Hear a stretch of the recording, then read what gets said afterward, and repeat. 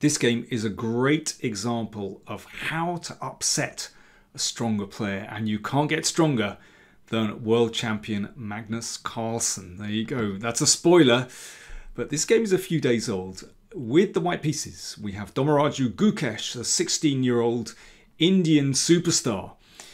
This was played in the Aimchess Rapid. I'm just catching up with some of those games now, and there was, in fact, some wonderful games played.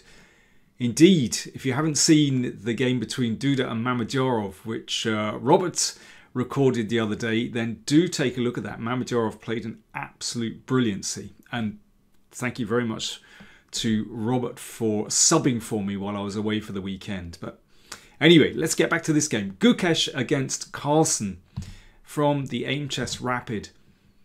Carlsen playing a French. Little bit unusual, but actually I think a pretty good choice. And especially the classical variation. I had this in my repertoire for many years. I really like it. It combines solidity, you know, you get that classic French pawn chain, with dynamism because often you get very nice counterplay on the queen side. So there's pressure on the pawn and white can either play bishop g5 or go e5 here. e5 played by Gukesh. The knight comes back and you can see that now that the pawn structure is fixed, that's it's like a spine in the position, very st strong, very solid.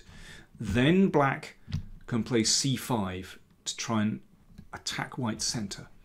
f4, that's necessary to cover this pawn. And now c5. You can see that this d pawn can't be supported by the c pawn. So this is the, the, the, the soft part of white's center, which black starts to attack with the knight and the pawn. Very important to get that pawn rolling before you play knight c6. And white supports that pawn. And Carlsen, I mean, there are lots of ways to play this position. You can go bishop e7, you can take on uh, d4, but Carlsen goes for quite an old continuation and just advances on the queen side immediately. This, this is um, how I like to play the position. It's great fun. You know, you can often get this very strong initiative on the queen side. And lots of ways for white to play here.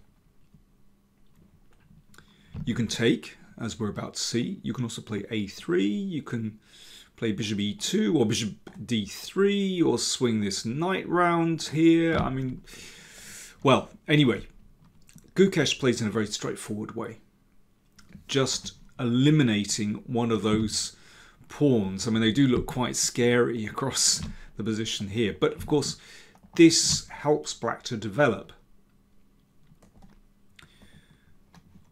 Bishop d3. Uh, knight is looking pretty good on c5. Bishop on a nice diagonal.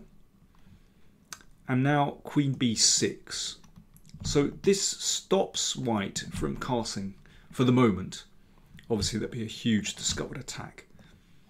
White could castle queenside here, and I've faced that a couple of times, and it is great fun for black. You can start rolling your pawns down the board, and black has this dream attack. So Gukesh plays queen f2 instead, just blocking this diagonal and preparing to castle. b4 pushes the knight away. And then a5. Excellent strategy from black. I mean, very well known in this position. So these two pawns cramp these three pawns, but also it makes room for this bishop to enter the game. Bishop on c8 is traditionally the, the bad bishop for black. And once it comes into the game on a6, well, it's no longer bad at all. Notice that black can get away with this strategy because of this strong pawn chain. This is the French pawn chain that gives black a certain amount of stability in the center and that's why you can afford to take the time to advance on the queen side. Castles from Gukesh, bishop a6, all according to plan. And this position has been seen a few times before And if white plays quietly, then I think that's exactly what black wants. Then you can carry on with your strategy of playing on the queen side without hindrance. So for example, king h1 tucks the king out of the way, perhaps prepares to move the queen here. Then you can exchange here and just go rook b8. And now that the, the queen is protected, then the knight is free to move. And black has a very nice initiative here. This is just the kind of thing that Carlsen wants. He doesn't have to be somehow very creative with his strategy and the initiative continues. So Gukesh had a think here and he came up with, I think, an excellent strategy. He starts to randomize the position. He starts to, to fight on the other side of the board. He needs counterplay desperately. So he sacrifices a pawn. Excellent stuff.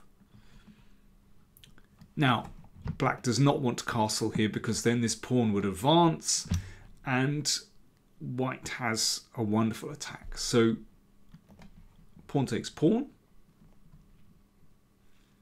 Now, if that's taken, then black just wins material using a discovered check. But that was never the intention. The idea with this pawn sacrifice is to clear this square on f4. So suddenly that knight has a really menacing square attacking this pawn, perhaps preparing e6, perhaps looking at the h5 square. And suddenly it's very tricky. Remember, at the moment, there's a pin here. So that's a bit awkward for black. Okay, first things first, this pawn needs defending. Knight e7. So the knight protects, oops, protects that pawn and that pawn. So that's that's a solid move. But you can see already that black is going backwards. So that's what white wants. Now you could perhaps occupy the middle here, but well, that would be exchanged. Black can castle. Black is okay. You know, four pawns on the king side is pretty solid.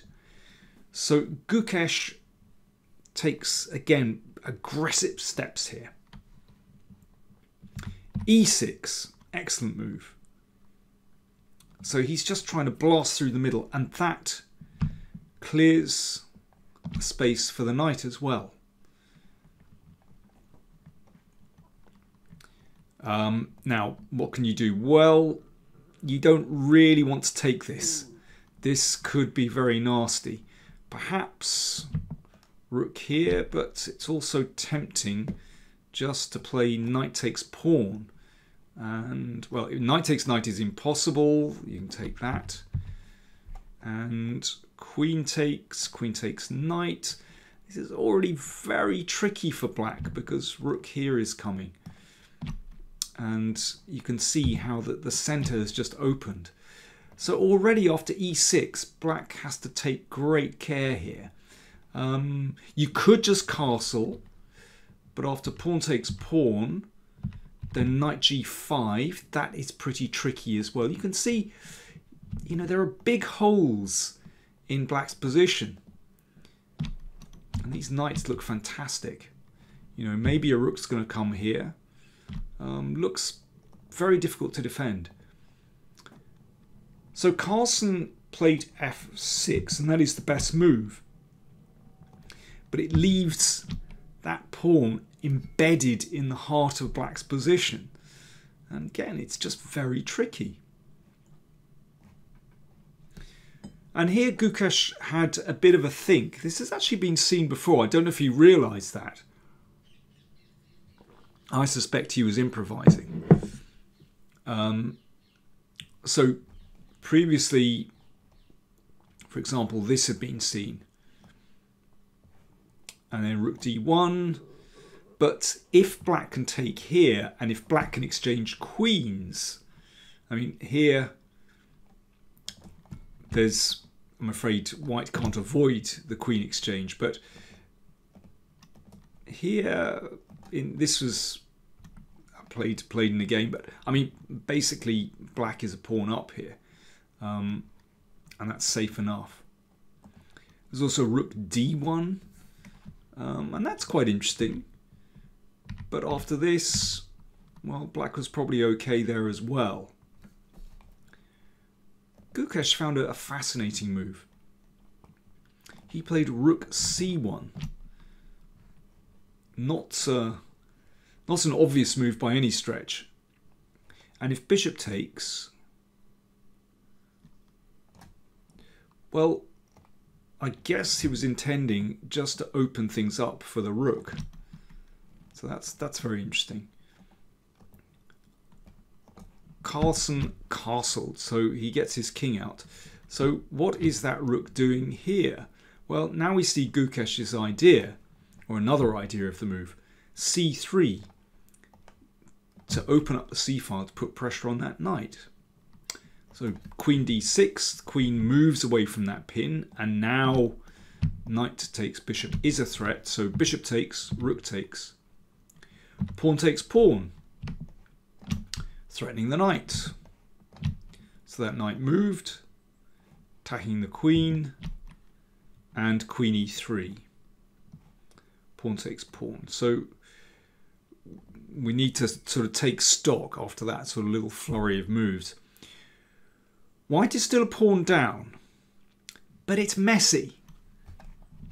That pawn in the heart of black's position is defended by the knight, and it kind of makes black's king a little bit insecure. Although at the moment there are four pawns around the king, it's a bit annoying to have this this position slightly open and the pawn covers this square. On the other hand, you know, black has survived that little flurry. This knight looks fantastic on e4. I mean, that is the pride and joy of black's position. And again, an interesting moment where Gukesh just doesn't bother doing anything about that pawn, but instead just plays the knight into the middle. And that does look like a fantastic square. More support for the pawn, and it sort of looms over into black's position. Rook takes a2, so now Carlsen is two pawns up, and this knight starts to poke around, knight b5. Who knows where that's going? Maybe c7. But anyway, first of all, Carlsen has to think, what does he do with his queen? He puts it on e5, which looks very nice. He's beautifully centralized here. And the queen even looks down there as well. So if knight h5, which could be interesting, then queen takes b2, and that already threatens a mate in 1. But Gukesh, instead of sort of thinking about defending, he piled on the pressure. Rook c7. So this is why he played the knight to b5 to allow the queen to get to the seventh rank. And now we see an effect of this pawn push e6. It opened up the seventh rank, and that is very dangerous. Now, this is a big moment in the game. What do you do about that threat? What do you do about that menacing rook on the seventh rank? I'm going to have a little slurp tea. You have a little think with black. Black to play. How would you play here? Cheers.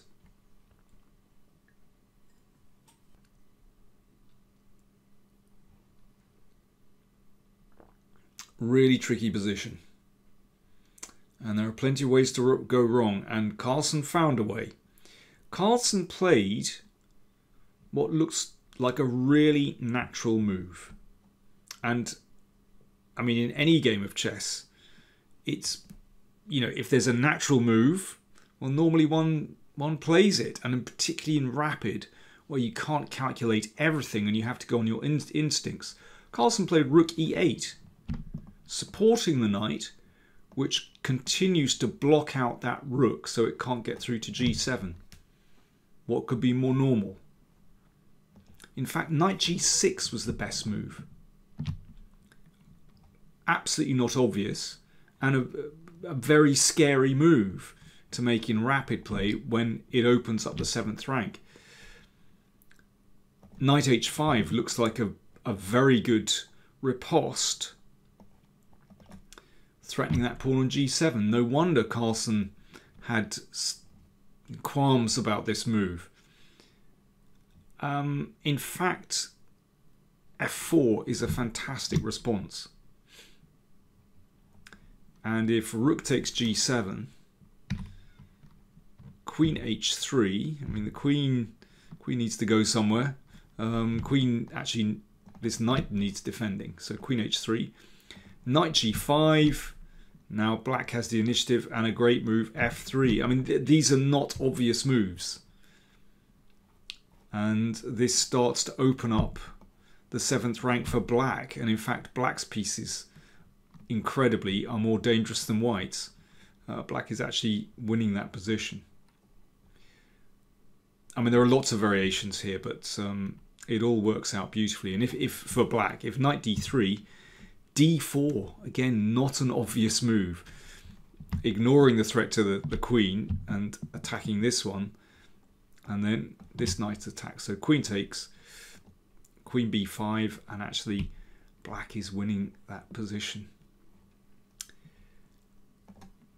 But yeah, you have to, you have to calculate that perfectly, basically. And rook e8 looks like a far more sensible move, just keeping the seventh rank blocked out.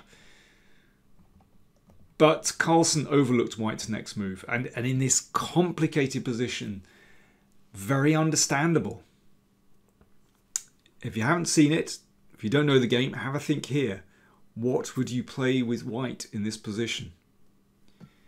White to play and win. Yeah, incredible.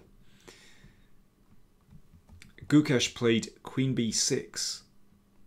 And that just comes out of the blue. And incredibly, black does not have a good answer to this. So what is the point of queen b6? In fact, white now has two threats.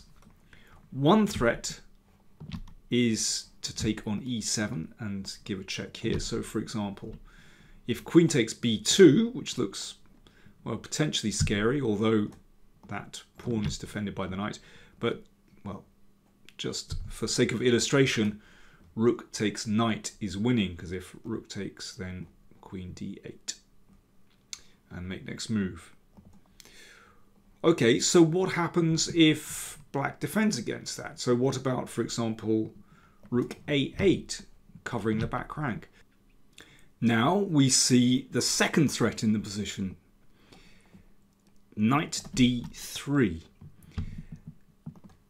attacking the queen. Incredibly, the queen is actually trapped. When white's queen moved to b6, it covered the e6 pawn. So white, the black queen can't take that. Well, you can see, I mean, all these squares are covered. Every single one. There is no escape for the queen. Quite remarkable that the queen, in the middle of the board, has no way out. I mean, it's a really unusual tactic. And, well, uh, queen b6, setting up the, these two threats, is a very unusual move, very, very easy to overlook how powerful that is. Uh, what else is there? There's there's also knight g6. but this because if if knight d3 now, then actually queen takes e6. But after knight g6, the seventh rank is now open, and in this case, queen b7 is actually winning. White just breaks through here and there is no good defense to that. Well, Carlsen thought for a long time here, but could only come up with knight g5, allowing rook takes, as we've seen, if rook takes rook, then queen d8. So the rook swept over to a8. But now queen c7, and that just conquers the seventh rank. Um, Queen Exchange, of course, is absolutely hopeless. White is a piece up, and that pawn is very strong. Carlsen played a check, but after King h1, he just resigned this position. For example, I mean, it's completely lost. If Rook a1, then this leads to a forced checkmate. Rook takes pawn check. Knight takes, knight g6. And queen f7 is checkmate. There you go. That pawn on e6 helping out very well in that position, supporting the queen. I, I really like the spirit in which Gukesh played that game. You know, he's just not afraid of Carlsen's reputation. You know, he didn't do something safe here. F5 was a really enterprising sacrifice, and then pushing on with E6 again just created a position which is well, irrational, non standard, unorthodox, where Carlsen just can't fall back on the, the familiar, familiar strategies. He's just got to think, and in those complications, something very nice turned up for Gukesh. Brilliant victory. By the way, uh, I should let you know that uh, my Kalashnikov course on Chessable and my other courses actually also on sale. There's a Halloween sale. So if you're interested in that, then do check it out. It's a wonderful opening for black. Thanks for watching.